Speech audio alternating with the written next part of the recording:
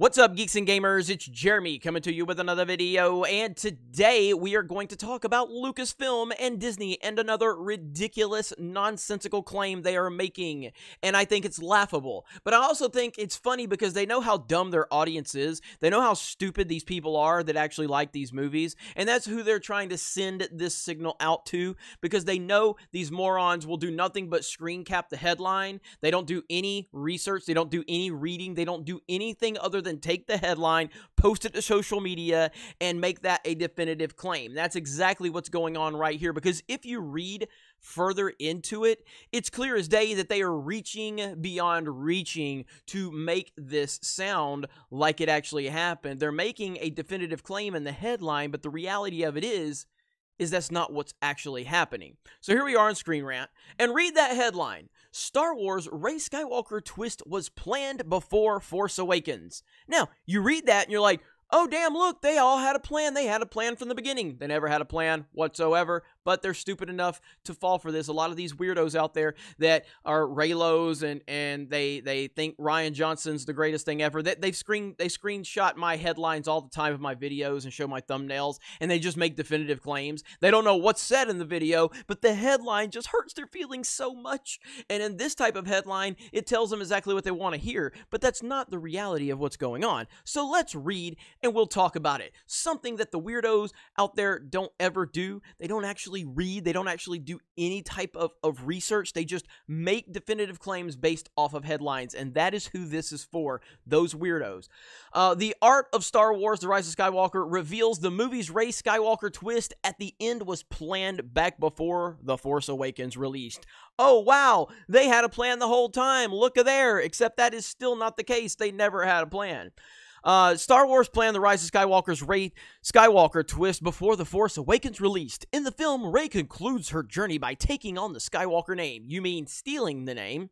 Symbolically rejecting the dark side in her blood and embracing the light. Like many creative choices in The Rise of Skywalker, this proved to be extremely divisive. Some people felt Rey's choice marked the rise the Skywalker um, family ultimate. Good lord, there's like there's so much Rey Skywalker, The Rise of Skywalker. This, my god, I'm getting so mixed up over the Skywalker. It's just like they cannot stop beating that name into the ground. Some people felt Rey's choice marked the Skywalker family's ultimate victory over Palpatine, definitively ending their decades long conflict. Others thought the scene played as a heavy handed fan service that closed the saga out on a whimper, not a triumphant note. One of the more common criticisms lobbied against the sequel trilogy is that the narrative wasn't planned out in advance. While there are benefits to giving directors creative freedom on their films, Lucasfilm's approach arguably led to a series of movies that were seemingly at odds with each other. The studio, the studio's habit of using tie-in publications like official novelizations to clear up muddled plot points like Emperor Palpatine's return is also seen as proof of lack of a plan. However, one of the Rise of Skywalker's most notable twists was established well before the Star Wars Renaissance kicked off. Star Wars Renaissance. Okay.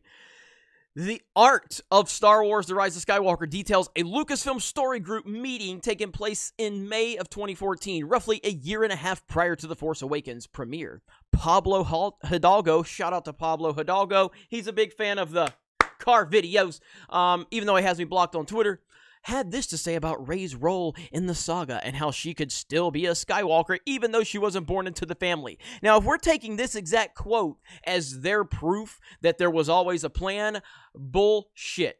Uh, his qu- quote, I like the idea that she's going to be our Skywalker, but she's not a Skywalker. Then, for our purposes, the Skywalker is really a metaphor. It doesn't have to be something that's directly connected to blood.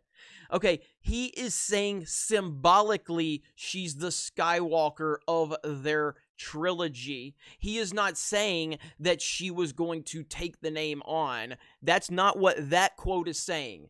That is a reach beyond a reach. But if you go to the headline, the headline is definitive. Star Wars Rey Skywalker twist was planned before Force Awakens release.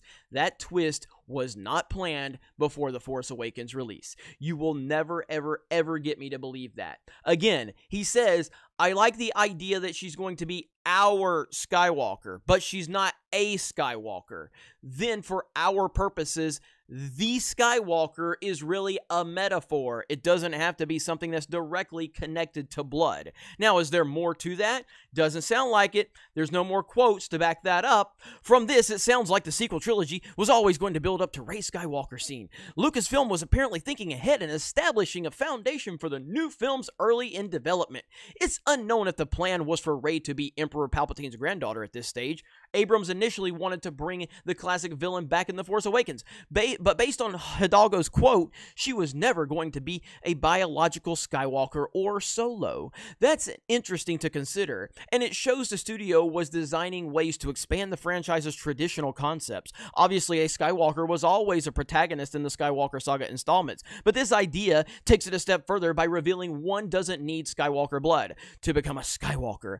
Only or one only has to choose a specific way of life.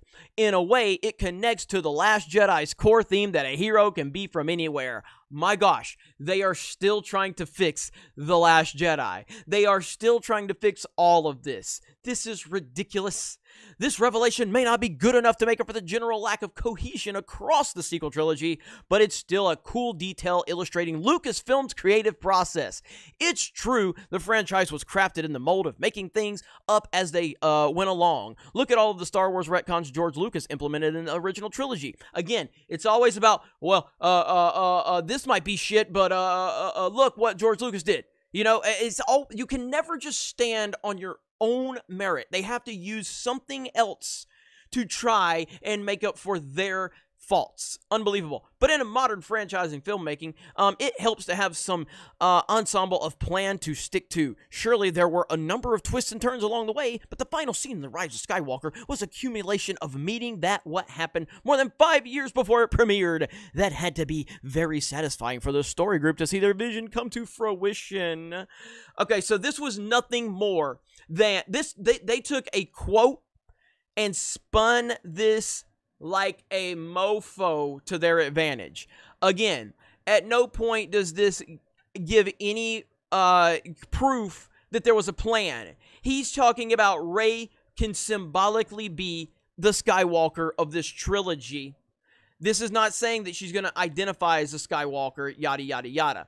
This was a probably just one little piece of a discussion, a bigger discussion when they were debating like who she could be or whatever. But again, it's clear that they had no plan. Do you know why? We know that because The Last Jedi happened. So maybe there was a plan. Maybe there was a plan, but Rian Johnson walked in and Kathleen Kennedy's lack of leadership proved that even if there was a plan, it didn't get followed because she let Rian Johnson walk in the door and do whatever he wanted and ruin everything.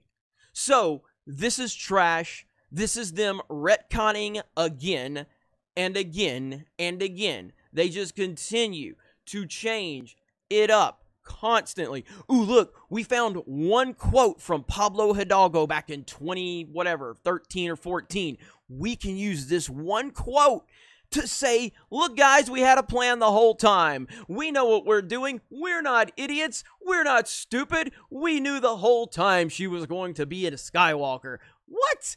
How desperate is Lucasfilm at this point? Like, how bad is this? This is embarrassing that they continue to do anything and everything to try to fix the trash that they have produced. It's garbage. There was never a plan. It's screwed up. There's nothing you can do to fix it. The more you try, the worse you make it. So continue, I guess, but nobody's taking you seriously. Let me know your thoughts in the comments below. Thank you very much for checking out this video. Solo lost money. Reylos are weird. And Disney never had a plan. Talk to you later.